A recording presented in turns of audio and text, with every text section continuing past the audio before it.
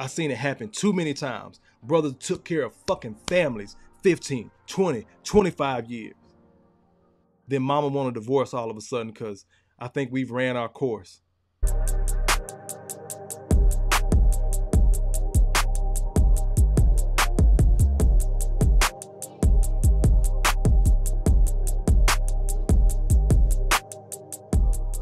This another KS. Just letting brothers know that you are solid. Especially when you're average. And you were below average. And get off my no, just no. No. No. Take a break because I'm gonna calm down. Nope, absolutely not. Sorry about that. I grew up in the I grew up in the Bible Belt in Oklahoma. I, I grew up with people who worked hard for a living. $8 an hour, $10 an hour, $12 an hour. And in the middle heartland of America, there are people who, in the South in particular, people are not rich here. $70, $80 an hour. We're talking $20 an hour, $25 an hour. It's forty to fifty thousand dollars. And I have a real problem sitting here in, in my Tom Ford suits and candles and all that other kind of stuff. I have a real, real real problem when I hear women laughing, poking fun at the men who built this fucking country. You're laughing at my uncle, my grandfather, the men who serve our country, the men who dig the ditches and build the roads and fix your plumbing and everything. I, I don't take that. This is. We have gotten so far in the black community from what made us a community. We have no respect for our middle class. And out of respect for my platform, I'm not going to put your photo, man, but you are average at best. Got it! It's hotter than fish grease! I was watching that live when he had to go take a break. When I say it wasn't for show, when it wasn't for YouTube likes, Kevin has never, ever shitted on the blue collar brother. The average day to day brother, he knows what makes this country hum. Well, he knew. RIP. Never shitted on the average day to day brother.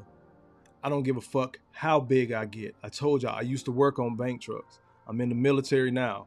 I work, I'm in the Army Reserve now. So I know what it is to put on a uniform and do things. I was active duty for a while.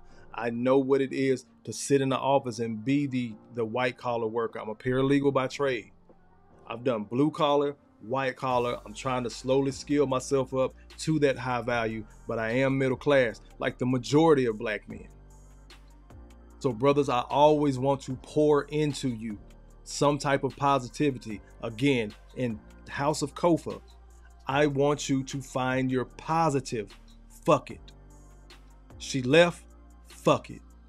My grown ass kids that I raised, the step kids that I raised, ain't talking to me right now. Fuck it. Your ass got up this morning, didn't you? You still breathing, ain't you? You still have that job. Fuck it. You got another opportunity. You got another bite at the apple, as they say.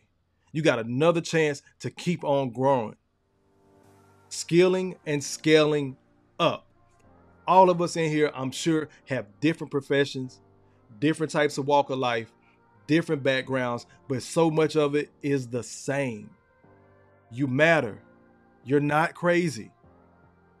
Your lived experience matters. You know how to move. Please stop simping. For the young guys, start sharing this with them. It's not just brothers in, at this age group. My job for the younger guys that may be viewing my content, my job is to get you smarter quicker. Period. That's it.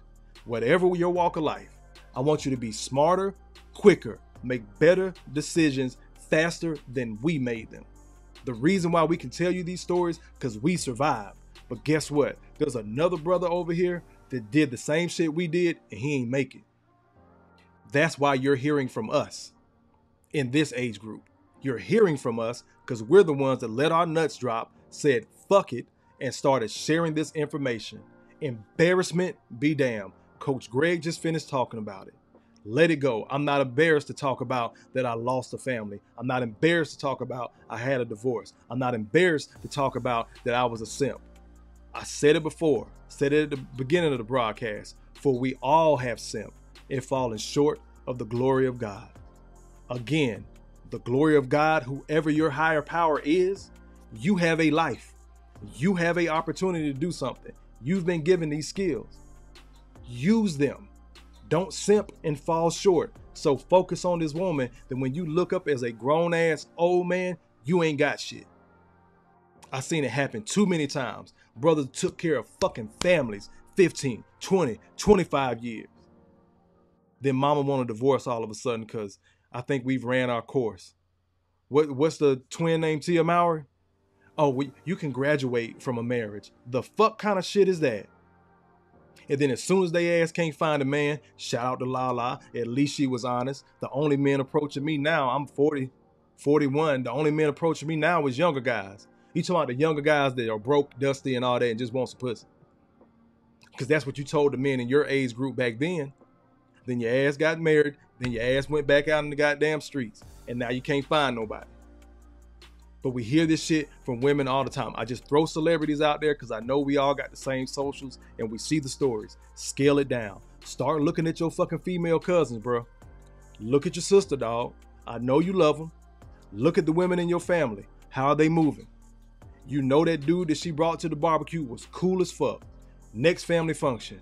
Hey, where Tony? Fuck Tony. Damn, what my boy do? I like Tony. He was cool as hell. I mean, he ain't do nothing. I just I don't know.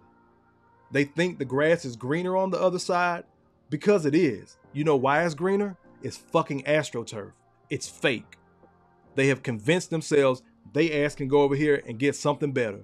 And then when they take the L, they find the nearest black man to blame or the idea of white supremacy. I'm gonna slide over here to these comments. I got one last video to pour into y'all and make this shit stick.